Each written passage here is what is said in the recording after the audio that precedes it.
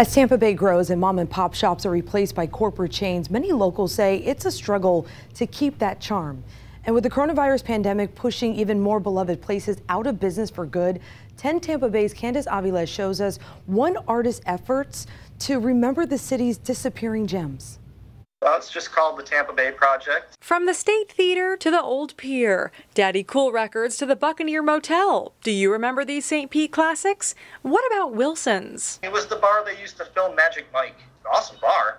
But yeah, they, I don't think they're open anymore. I think they, uh, I think because of the COVID thing, I think they didn't make it. Artist Stuart Andrews' goal is making sure the original staples creating St. Pete's character are not forgotten when they started overdeveloping, it, it, felt like a ghost town to me. Even though the population started growing, to me, I didn't feel at home and it felt empty and vacuous. That's the price of progress, I guess. He kept the paintings empty without people for that reason, depicting the loneliness of losing one's true identity. Having seen the area change drastically over the past 14 years, he remembers a simpler time when it cost $400 to rent an apartment in the popular Old Northeast neighborhood, something that would cost upwards of $1,500 now. He also posts phases of painting for those wanting to learn. I did the Detroit as the very last painting, which was the very first place I lived when I moved here, so that's kind of a weird backward thing.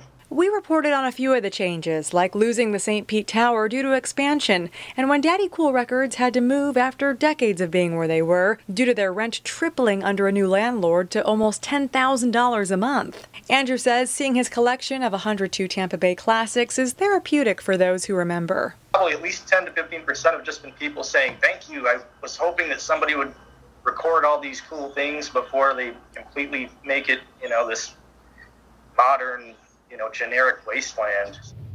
Man, so many changes, and it can be really emotional when you look at that kind of thing. So, if you'd like to learn more about classic places in St. Pete from the past, we have a link to his work on our website.